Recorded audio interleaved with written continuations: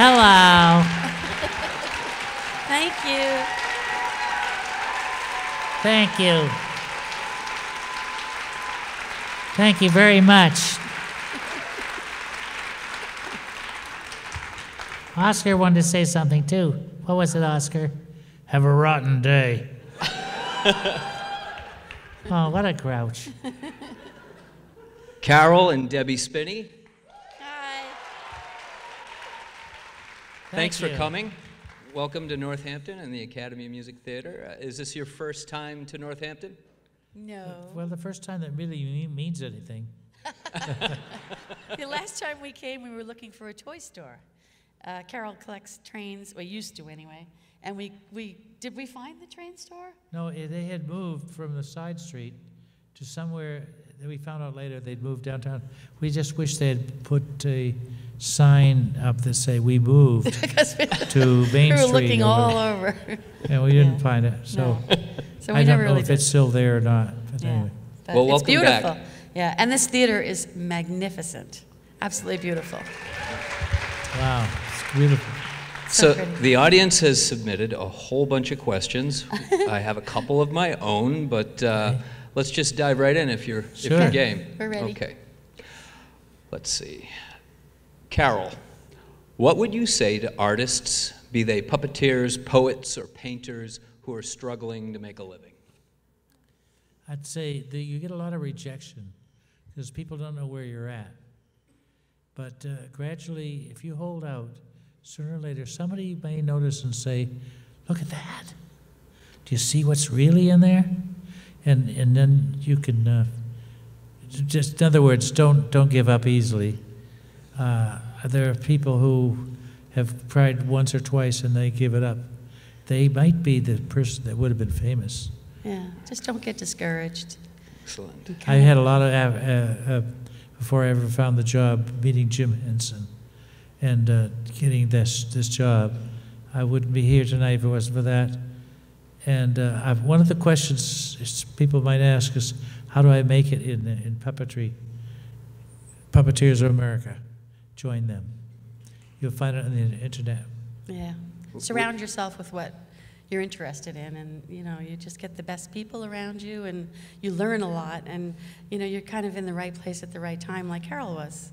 You know, when Jim was sitting like right about there, in an, you know, in an auditorium and doing his show, and like you saw in the movie, it was a disaster, but that was good because Jim really appreciated how he handled it. So you just Was you it- just was do it- it. Was it Sunday last week we were? Yeah, in? last week we, we went to Salt Lake City. Uh, That's where I really got the job in the first place. There's even a cartoon of the building we were in Yeah. called Kingsbury Hall. And yeah. we, I was in it, and they said, this is where you got the, did the show, where you got the job with Jim Henson. And I didn't even know I was going to that. Yeah. So it's kind of We, exciting. were, we knew we were going to Salt said, Lake, so but we Big didn't know we were Bird going said- to that theater. I was born right in this place. And then, he, and then he points out and he goes, and you were sitting right where Jim Henson was. And then the lady was like, oh my God, you know. so it was very cool. So, I have uh, another audience question. Have you gone back to a high school reunion? And what was it like, if you did? You did. I went to uh, a few, Yeah. and um, Not recently, but you did go to a few. yeah, and I, I And all those bullies were like, hey, remember when we were pals when we were in high school? yeah, right. I did go to a lot of them. Uh, it wasn't Yeah. much fun for me. yeah. Okay. A little satisfaction there. How about this? Not that I would expect you to pick a favorite, but if maybe the, your first memory, who was your favorite guest star or someone you were really fond of on Sesame Street? A good, know that real answer. good memory. Waylon? Waylon, yeah. Waylon Jennings was he? I, I didn't just meet him on Sesame Street. If you have seen um, Big Bird on uh, Follow That Bird, uh, he when he got picked up by the he was hitchhiking, hoping to get back in about three hours. he was in Kentucky or someplace. No, I know. Illinois. Ocean View, Ocean Illinois. View. Which makes no sense Hard at to, all. s- hard to see the ocean from there. Were you, were you good friends with Waylon and his family before That's that? when I became friends Before with that? him. No. I, No. I- but uh, he played the turkey truck truck driver, Yeah. And uh, I, I sat for two days in a truck that had been altered to have a roof higher than the normal roof because I was sitting on the floor with my right hand holding up the bird, and uh, it was just his top feathers just cleared the roof. And uh, he, I, he and I spent two days going back and forth on this thing. They'd take another shot. We're going to take another thing, and we're going to play part of the music. It ain't no road too long. I- I was never had done country singing before, and uh, Of course, they didn't ask me to do any more either. but we became really, really close friends with Waylon and his wife Jessie, and you know, spent many years just traveling with them. And they're probably our closest, next to Jim, you know, who's very special to us.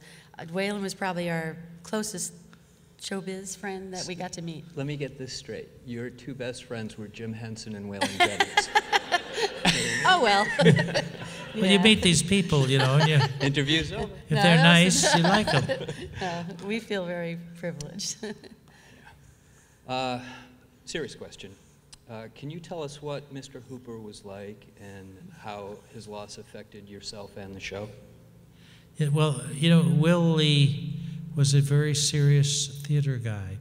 He'd always done theater, and he'd been blackballed by the House Amer- Un-American Activities uh, Association or whatever it was. And uh, back in the days, it was very dark days in Congress and all. And uh, we were fearing the Russians and all.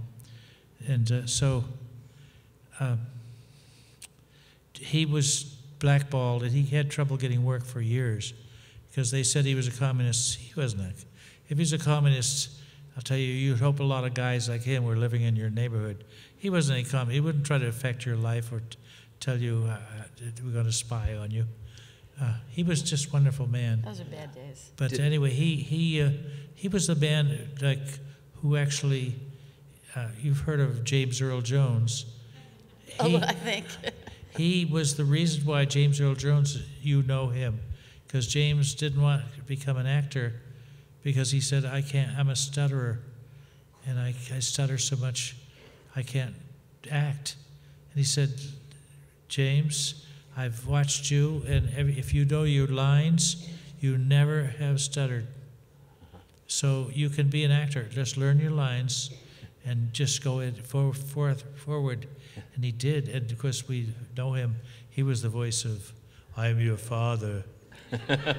And many other things. and many others. This is CNN Did uh, Big Bird ever get Mr. Hooper's name right? No, at one time he even went, uh, says, Good morning, Mr. Looper. He, he said, Good morning, Mr. Cunningham. Oh, gee, I wasn't even close. He was wonderful. Yeah. Uh, how has Sesame Street changed in the last, say, 10 or 15 years? Well, we started out as a show who was a new idea put together that teaching could be done with television. And I think that Joan Cooney, uh, who, who really was the most masterful creator of the show, there were many others she brought into her fold. And um, she was just amazing. And she still works there. She's 84 years old, comes in every day and works Yeah. and which is amazing since she doesn't have a real position except for the, the founder of the show. She's the mommy of Sesame Street. I call when Big Bird sees her, she says, "Oh, and look, mommy's here." Yeah. It has changed, though. But it I has mean, changed. It was uh, experimental television. We we knew it would change as the times changed, and they've always tried to uh, be uh, adjusting to what America Yeah. is. I mean, they, they research everything they do on Sesame Street, so whatever is current, that's what they're into, you know, finding out how do we deal with this and show the kids and, and the whole, the family unit. And as you all probably heard, you know, recently the big deal was that uh, HBO came into it. And every, at first, everyone was like, oh my God, you know, how do they do this? It's not PBS, which was the whole reason that people who couldn't afford all that pay TV would be able to see this. And the thing is, is it's a good thing because HBO came in with the money that was needed to produce more Sesame Street shows because they were really struggling to produce. The, the money isn't there, there aren't the grants, PBS is struggling, the whole works. And so um, what's happening is, is that HBO will give the money, the deal is for five years, to produce 36 new shows, which is great because Sesame Street was wi- dwindling down to 18. And um, not only will they produce these shows with a good amount of money behind them, but then they're going to give the shows, not even, you know, charge PBS. They're going to give them for free to PBS. So if you have HBO, you'll see it on HBO, and if you have it on PBS, you'll see it on PBS. It's good, it's a good So it's a thing. good It's a good thing. Yes. Yeah. So, Debbie, you worked for Sesame Street. I did. How did you get your job, and how do we get jobs at Sesame Street? You don't want to get it the way I got it. I, uh, I had, I mean, I, I well, no, I, what does that mean? I don't know what that means. it. Wait, It did take that back.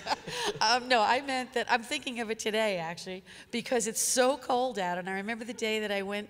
I went to a, a, an employment agency in Manhattan, and I was uh, 21 years old, and I, I just wanted to work in Manhattan, and they sent me to Sesame Street. I had two two uh, interviews that day. One at this. Uh, actually, it was a Playtex bra factory, but uh, it was for a managerial position, which was good, good paying. And then I went to Sesame Street, and it was a, at the time, it was like a secretary in the research department. And it wasn't a good paying job, but it was at Sesame Street. And it was so freezing cold. It was like it was today. And, you know, here I was, a little less skinny than I am now, and in a little mini skirt and a little nothing coat, and freezing, tears running down my cheeks, thinking I'm gonna die here going to this job. And I just went for the interview, and I, I, I just fell in love with it, and they offered me the job, and the other place offered me the job, and I said. I got to work at Sesame Street. So thank God I took that Yeah, job. thank goodness. Thank goodness. I say amen to that. Yeah. Can was I ask. Big Bird a question, please? Sure, I'm right here. I'm hiding in a funny old man's suit. All right, you ready for this one? Big Bird, Yes, I'm ready. what is the meaning of life? Oh God! The meaning of life. Uh, it means uh, Always You're look only- on the bright side of life. Sorry, I should that- not my question. I didn't think of that one. um, I think of, well, you know, you only get here, here once, so try to do a good job while you're having a lot of fun, and do nice things for other people. Remember, we're all brothers and sisters. That's a very big birdie thing to say. Uh, Caroll, do you ever have dreams where you are in the suit? I I do occasionally, and the nice thing about the ones lately is that Jim Henson is there. Oh, And that's so nice. I, Jim is saying, listen, we got to get together. And we didn't have any scripts or anything. And it was nothing organized, not at all like the way it is. When you go in, every moment is planned and carefully worked out. But um, instead, uh, he, he was there and urging us on. But I, we would, I would have conf- conflicts, many things I don't have in real life. I, it's easy. I go in and there's nobody that seems to dislike me. So I treat him nicely. not in his dreams.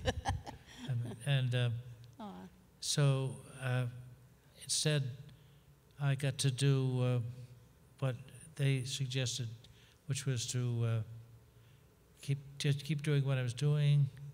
And I say, uh, people have asked me before, how do you get into a job like with mine? And there aren't many, I guess, not many jobs like that.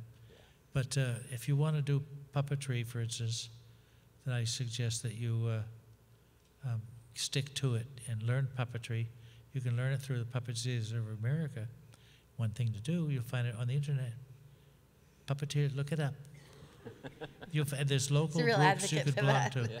Well, I, I, I, Jim was a huge supporter of it, and he gave a lot of his money to uh, supporting other puppets. Great. You know, a puppet show is very different than Muppets. Yes.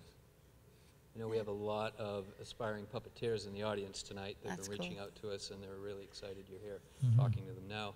Uh, How about a later question? Have you ever tried to get out of a telemarketer by doing Big Bird's voice? That's funny. No, I haven't, but I have sent some money to PBS. And I said, by the way, I am Big Bird. and they said, yeah, right. That's funny. But they were pleased when they found I convinced them. I sing a little bit of Abkadefki Chekomanopris to Rixes. And that, once I do that, uh, they are usually pretty well convinced. They're talking the real thing. Is Big Bird a David Bowie fan? Yes, we had a wonderful time to meet David, David Bowie. He was the evil uh, Uh, Goblin King Goblin King. in Labyrinth, as you all know, I'm sure. Yeah, we got to hang out with him while he was.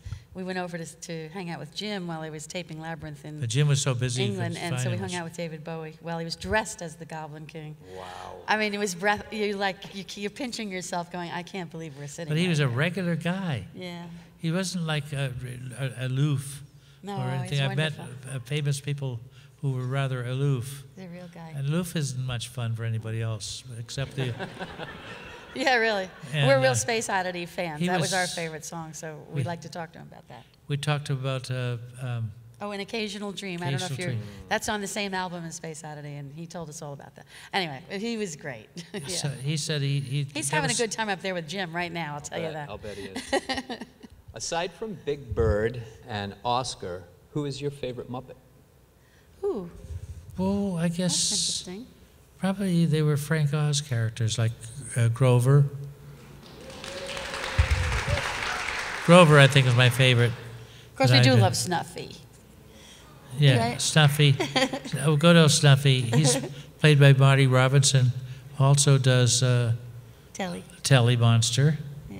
and who is very much a, a very insecure, uh, unhappy character.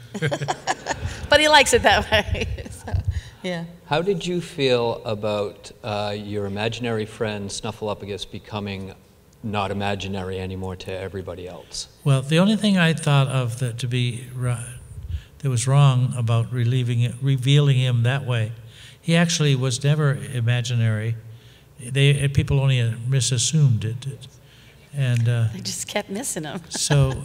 But he would always do things like, "Okay, Snuffy, you stay here. I've got everybody is waiting for me to call them from Hooper's store." That's Looper, Big Bird. Wrong. Anyway, uh, and, and I'm going to bring them here. So you stay here, okay? I'm going right now. Here I go. So he's standing there by himself, on the, on, alone in the, in the scene, and he says, "Gee, my buddy Big Bird is going to bring. I'm going to meet his friends. I wonder if I look good enough. Maybe I better go home and put on a tie." And he runs away. And so they come, and there's nobody there. Big Bird, we're really tired of you with your imaginary friend who's never here. Now, the part I don't agree with was to reveal him that day to everyone. I think they should have had, had a lot more fun with it. Bob McGrath, my dear friend, th- who is the Irish singer in the show, and uh, he um, disbelieved in Snuffy more than anyone else. Yeah. He should have been the one to see him. Yeah. And no one believed him. Yeah. Right? That would have been a lot of fun. We could have had fun with it for And weeks. then each Yeah. character could have done that, you yeah, know? that would have been great. Yeah. Not everybody all at once, which is like, eh. Kind of stretch it out. It would have been nice. So on the show, Big Bird deals with all the really powerful, moving stuff: um, uh, death, uh, bullying, adoption. Uh, there was a hurricane, and the nest blew away, losing your home. Why do you think, in your words, Big Bird gets all the heavy lifting on the show?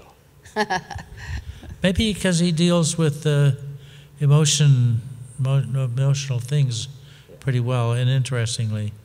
I, uh, I, I had a lot of ex- kind of experiences like that. An awful lot of comes from my own life, the things that didn't go right, and a lot of them didn't go right. Whenever I dealt with people, but I love people, and uh, I've met some of the loveliest people thanks to me being on that show and getting a chance to meet them. And uh, Yeah. I remember meeting a, an un, a, a children's character who, he, he- when I was 13, and I wanted to break into television. And uh, uh, he was so he was a guy you'd never heard of from out of Boston. Captain Carl it was Carl DeSouza, who was one of the DJs, and uh, he he was so nice to me. I went and spoke to him. I said, "I hope to break into television." He said, uh, "What do you want to do?" And he told he was just kind, and I think it's nice when somebody who has made it gives a little time of theirs to somebody who wants to do something in their field. Uh, it could be something other than television, but uh, puppetry works very well on television, particularly the Henson man- method. Okay, thank you. Uh, Big Bird, Yes. why do you live alone? Why don't you have a roommate? Um, well, nobody. I'm just. Uh, I'm just sort of squatter, He's a squatter. Yeah. and I don't have to have any rent. And I built the nest myself, you know, all by myself. And so I don't want any roommates. Uh, they've had people offered uh, other birds who've tried to move in on his nest. Yeah. And uh, he, he went off to, to have a, a, mil- a birdseed milkshake at Hooper Store. He comes back and there's a bird living in it and tells him he can't have it. Well, of course, the denizens, the people of Sesame Street, uh, made that bird understand. What is something you've done that scared you, but you were brave enough to do it anyway? What? Yeah, That's a right? That's a good one. That's a Good very good question. You mean Whoever like- wrote that, be ashamed. I mean, jump off the bridge when you were bungee jumping, maybe. I, I jumped. I did jump off the bridge, You saw that in the movie. That scared the heck out of me, I'll tell you that. Oh but she gosh. was the one who said, "I was." We, we went down to see this bridge, and there were a lot of was New Japanese Zealand. Japanese girls who were wanting to do it, but they were like they're very shy. They're taught to always, if they giggle or laugh, like, they cover their mouth. Like Yeah. they're so polite. But they jumped off the bridge. They jumped off the bridge, and I said, "They're having what is my, the kind of fun I'd want to have. I want to jump off the bridge." She says, "If you want to go, Go, you have my go." permission. You can do it. I won't hate you for doing it, unless I unless you die." And so, I filmed it. so uh, I didn't. He ju- loved it, but he was scared to death, you know? yes. Yeah. Yeah. 150 foot drop. It takes only about th- less than three seconds to get to the bottom. And Yeah. uh, they said, "Do you want to go into the water?" Well, it was wintry, and so I didn't want to go in the water. I said, "I'm wearing nice clothes. I'd be all," Some people get wet. dunked. and uh, so I didn't want to be dunked. Yeah. And so, but you go down, and the nice part of it is when you go to the top, you you float for a second before you start to fall. That's the best part of bungee jumping. You're weightless. the top yeah. of the uh, when you're it's the only feeling you'll ever have unless you get to one of those airplanes where they do the Weightlessness, yeah. and Yeah. you Not gonna or do go uh, become an astronaut you know Yeah, which you saw what that was, yeah. i did i thought i'd be one but no What, what, what are uh, Big Bird's plans for the future? uh, Let's see. well let's see we've done 46 years That His nest is now in a tree, not outside on the ground. Okay. Uh, So I, I never saw that tree there before i wonder how they got the roots Yeah, where into did the that tree ground. it was a big tree really big tree We're hoping he'll get to travel someplace I, special, I I'd like to do, uh, you know, we used to do an awful lot of specials before Elmo came along. he, he's my, the guy who was playing it originally, who created the Elmo character, the way he is, is, is Kevin, Kevin Clash. Yeah. Fabulous man. Yeah, He Elmo's was- a great character. We love Elmo, but, you know, I, I will explain about Elmo too, though. Please. Because um, a lot of people say, you know, yes, it was a little strange at first because Big Bird was the most popular character, and then Elmo came along and he became the most popular character. But Elmo appeals to younger kids than Big Bird did. And, you know, when Sesame Street first started, their audience was about mostly four to six year olds, and Big Bird was four, and then he became six. Elmo is three, and now the kids are what they didn't realize at first, you can learn at one year old or less. So most of the kids who are watching now, who are really serious Sesame Street kids, are like one year old to three year olds. So they get these little baby characters better. And so Elmo just appeals to them better. They love Big Bird, but Elmo's like one of them.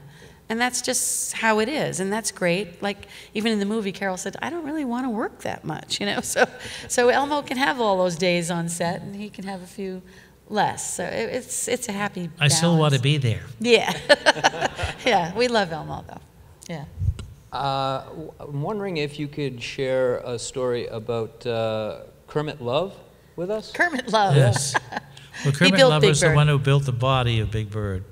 The uh, head was built by Don Sahlin, who uh, used to work for Burr Tillstrom, and he had built a better set of puppets for uh, Burr Tillstrom, the puppeteer, who did Kukla, Fran, and Ollie. So he built, and so Jim Henson hired him. Uh, he was he had done his work for Tillstrom, so Jim said, "If you want, I give you some work," and he redesigned a lot of the Muppets into the way they look, like Ernie and Bert.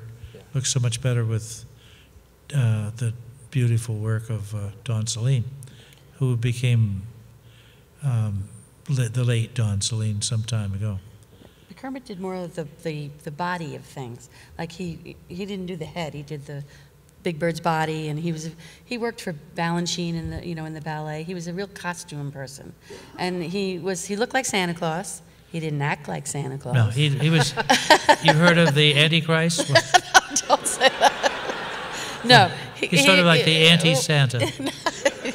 He looked like he, Santa, he- though. he was wonderful, and then some days he wasn't. you know. Yeah, but it, it's true. But uh, he he was also. It was a case of love and hate, because he was so creative and wonderful. It was great to work with him, uh, and uh, He kept you from quitting that time. In the yeah. movie, you saw that. I would have quit if it wasn't for him, Yeah, and I would have regretted it the rest of my life. yeah. Because to to I would have been working in the bra factory. Another question. What do you think of the new Muppet Show? Well, I, the We fir- I like it. didn't. I didn't like the first episode very much, but they seem to be catching on how to to Yeah, it's getting it. better and better, I think. It's not like the old one, which was a theater thing. This one is they're, they're supposed to be working a theater. You don't see much theater. It's mostly a soap opera with Muppets, which is not bad. I think it's, it's funny. fun. I really Yeah. think it's funny. It must put a lot of your friends to work, though.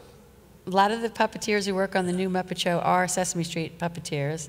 And even they said, you know, we were trying to figure out what, what do we do, where we go with this, and, you know, which characters are going to be the best. Um, I, it, we've, I think we've watched it each week and said, oh, this is even better and it's better. The writing is better. I think the, they're figuring out what to do with them. That's more Muppety, kind of. The only, I, you know, to be totally honest, the only character we're kind of like, I'm not sure we like, is um, Kermit's girlfriend. Not the character, but the, Denise. the way the puppet looks. We, somehow, I don't know. I, I don't want to be that honest, but I don't know. I, I just think she doesn't look right. But uh, really, we were enjoying the show. We watch it every week, and we love the guys, so we want it to Tuesday be very, very successful. Uh, Caroll, you must have mentors. Who are your puppeteer mentors? Who, who, who got you started? Who do you look up to? Uh, well, there was a guy named Johnny Sisson from Quincy, Mass, part of near Boston. Yeah.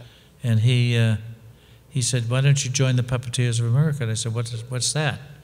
And I, I said, There's a guild right here in Boston, and many cities and parts of the country have guilds, which is why somebody doesn't have to travel far to find one.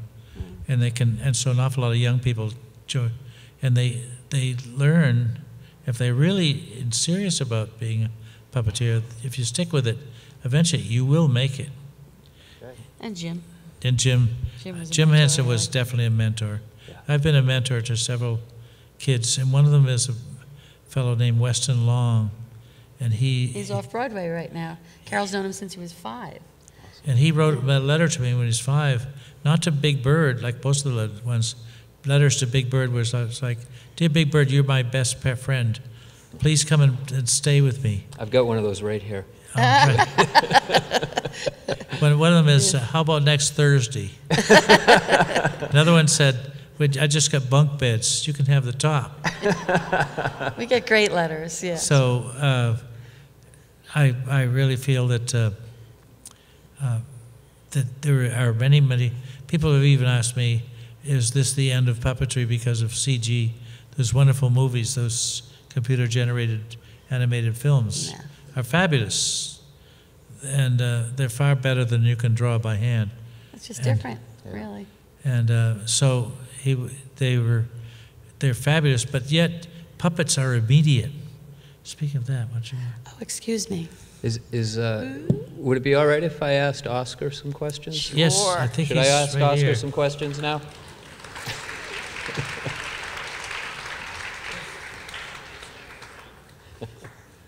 Leave me alone. Don't, don't pay any attention to it. Yeah. Good? Here, here. Welcome, Oscar. Wait a minute. Oh. We're not together. Okay. We hold him. Uh, Are you wait. in? No, I have to turn him. Oh, That- that- get in Get there. that, get the eye control. There, it's loose. It's mo- supposed to be loose. Yeah. There, I got it. Okay. He Okay. was all rolled in a ball. There we go. Yeah, thanks to you. You Yeah. put me in there. You know you love it. There's no air in that thing. Just like he likes it. I do like it, yeah. What was the question you had for Oscar? Well, Oscar, Yeah? what is the secret thing that would make you happy? Uh, secret thing to make you happy. Well, I like trash. oh, yeah, I do. I like trash. I oh, I love trash. Anything dirty or dungy. Never mind, Oscar. Who asked you? so anyway, uh, what do you like? Well, if the whole world had a lot more trash. Hey, just wait for it. It's coming along with big. Yeah, an- another question, Oscar, is, is how does the uh, trend of recycling affect your enjoyment of trash these days? You must be seeing less of it. Well, uh, I don't see hubcaps on cars mu- much anymore, much to my disappointment. But you have recycling on Sesame Street. so I've been recycling all these years.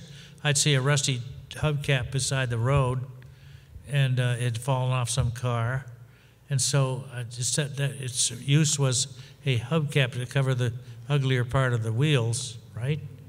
So uh, I don't use it for that. I recycle it. I hang it over the the, the, the mantle. Oscar, do you feel like you have a best friend on Sesame Street? Uh, yeah, well, if it's anybody, it might be uh, Maria. Or slimy. Maria? Or Slimy. Of course, the Slimy, the worm. Slimy the worm. Yeah, he's the best friend. He never disappoints you.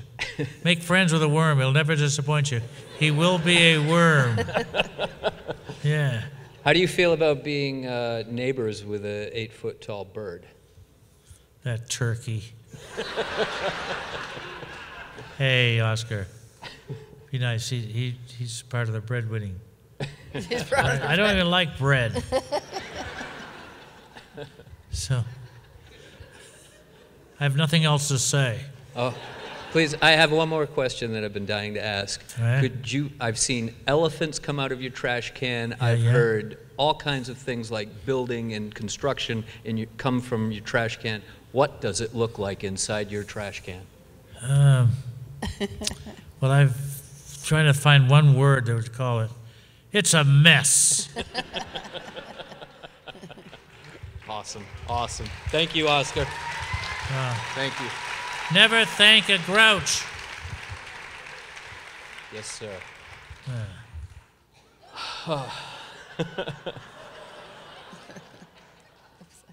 Caroll's. Caroll, some, somebody in the audience wants to know uh, the Jim Henson Memorial, uh, You as Big Bird, was so incredibly touching.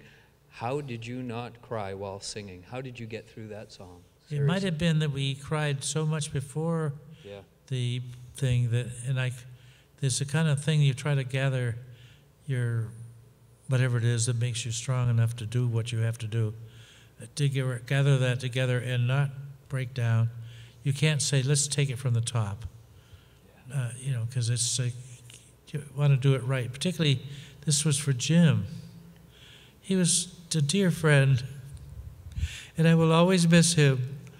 And uh, I, when Brian, his son, asked me if I would sing that, I was very touched, and because it was his Jim's song.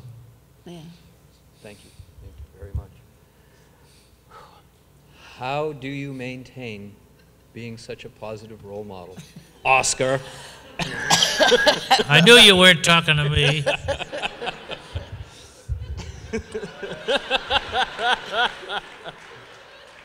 Uh, well, Big Bird is just like. Uh, I remember one time uh, they they the script had Big Bird uh, hearing about a, a book that had was a little bit naughty, and there- wasn't anything there to show what it was, but what the naughtiness was. But Big Bird showed too much interest in it, and I felt that that was I really ran did him wrong that day, and. I don't remember that. that was, that was that was before I knew you. I. Oh, okay. That was three years into the show. okay. So uh, uh, I think that Big Bird has to be. He's rather innocent, and he, therefore he must remain so. And I think that that's way we some of the charm of children we know are so charming because they you could, suddenly they'll say something you realize they don't know about that yet, and they don't need to know it yet. They'll find out, and uh, I really feel that his innocence is important to his being. Are, are you jealous that this movie isn't called I Am Oscar the Grouch? That's the next flick. no, I don't think so. No, Uh, no. Debbie, how do you feel about uh, the movie and, and it bringing you out of uh, behind the scenes?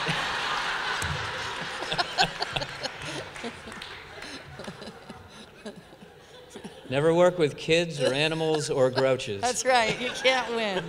You cannot win. Uh, the movie. How do I feel about the movie? Well, it, it, it catapulted you from behind the scenes to yeah, did. out in the li- limelight. Yeah, it was a total surprise. Uh, I mean, I di- had no idea that I was taking movies and pictures for 40 years for a reason. I just thought it was for us. Um, but I love it. I loved what they did. Uh, this is crazy. Try living with this. Uh, um, I, we love the guys who we love the guys who did the movie. Absolutely, yeah. And uh, I, I've, I've never been in front of the camera. I've always loved being behind. But when they first told me I was going to do something like this, I absolutely had to be dragged on the stage. But then I said, wait a second, it's just the questions are just about what I know. And I love sitting with Caroll and I, even this guy. And, uh, and so, so it's, it's good. It's all good. yeah. Very good. Awesome. Yeah. Well, we're, we're getting close to the end, and uh, I'm wondering, uh, is a serious question that I think we'll, we'll ask. What will Oscar and Big Bird miss the most if uh, you and Deb say goodbye to Muppeting, puppeting, puppeteering? We have no plans to do that. Excellent. That's the right answer. Don't go. No, I'm not going. We're, we're not going. Not going anywhere. This is too nice to come and, and uh, finally, I get to talk to people who've been affected by the show through all these years, Yeah. and it's that's This probably the the, best. greatest It thing really for me. is. Thank you very much, everybody. And Caroll's just signed a three-year contract with Sesame Street, which will make him 85 at the end of that one, and then he'll keep going. So All right. That'll be 50 years. Well, Oscar, Debbie, Caroll, Big Bird, thank you for the last 46 years, and I can't wait to see what happens in the next Thank year. you. Thank you very much.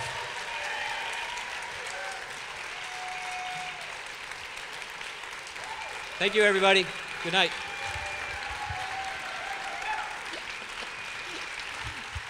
thank you. Thank you very much. Thank you.